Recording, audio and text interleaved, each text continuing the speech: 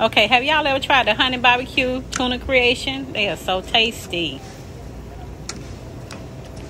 And the wild caught tuna, they remind me of the albacore tuna. Best tuna, y'all.